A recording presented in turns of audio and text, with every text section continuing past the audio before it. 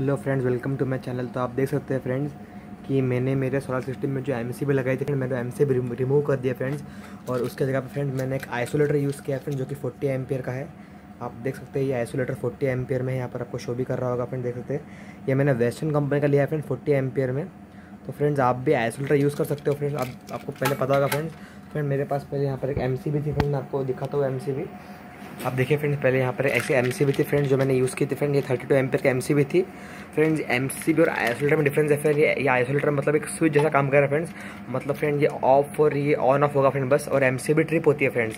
तो M C और isolator में फ़र्क होता है फ्रेंड ये मेरी एम खराब हो चुकी है फ्रेंड ये सोलर एम थी। ये खराब हो चुकी है फ्रेंड इसलिए मैंने अब आइसोलेटर यूज़ किया फ्रेंड्स, क्योंकि हमें सोलर एम बहुत कॉस्टली होती है फ्रेंड्स, और आइसोलेटर हमें लगभग दो सौ, तीन सौ रुपये मिल जाएगा फ्रेंड्स। और आइसोलेटर हमें सिर्फ़ ऑन ऑफ़ करना पड़ता है कभी कभी सोलर के इनपुट पावर के लिए फ्रेंड्स। तो हम आइसोलेटर यूज़ कर सकते हैं फ्रेंड्स कोई प्रॉब्लम नहीं होगी फ्रेंड्स भले ये एसी का है, पर फ्रेंड ये डी में बहुत ही अच्छे से काम करेगा कोई प्रॉब्लम नहीं होगी.